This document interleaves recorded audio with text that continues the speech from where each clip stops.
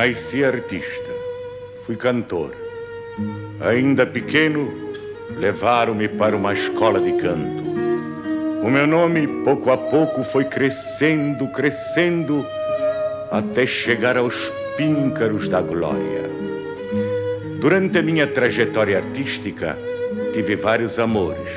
Todas elas juravam-me amor eterno, mas acabavam fugindo com outros, deixando-me a saudade e a dor.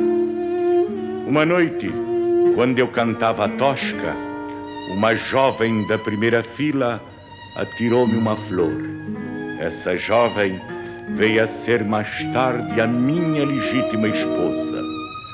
Um dia, quando eu cantava a força do destino, ela fugiu com outro, deixando-me uma carta e na carta um adeus. Não pude mais cantar. Mais tarde, lembrei-me que ela, contudo, me havia deixado um pedacinho de seu eu, a minha filha, uma pequenina boneca de carne que eu tinha o dever de educar. Voltei novamente a cantar, mas só por amor à minha filha. Eduquei-a, fez-se moça, bonita, e uma noite quando eu cantava ainda mais uma vez a força do destino, Deus levou a minha filha para nunca mais voltar.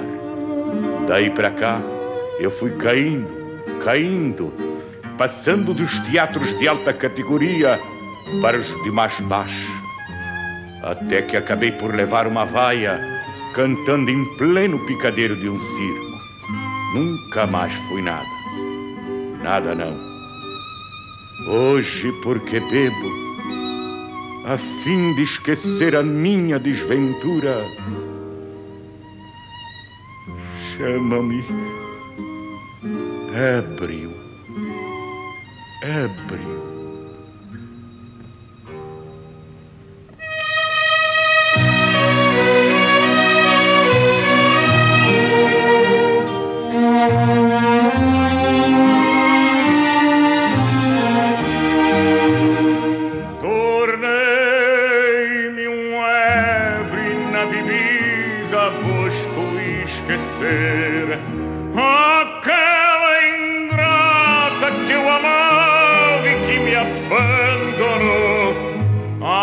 Apedrejado pelas ruas, vivo a sofrer.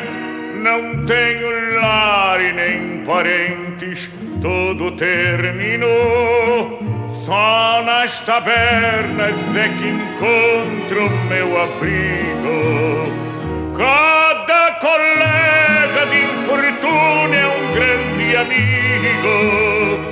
Que embora tenham como eu seus sofrimentos me aconselham e aliviam os meus tormentos. Já fui feliz e recebido com nobreza fé. Nada vinhor e tinha alcova cada passo um grande amigo que depunha fé e nos parentes confiava sim. E hoje ao ver-me na miséria tudo vejo então o falso lar que amava e que a chorar deixei. Cada parente, cada amigo era me abandonaram e roubaram o que amei. Falsos amigos, eu vos peço, imploro a chorar.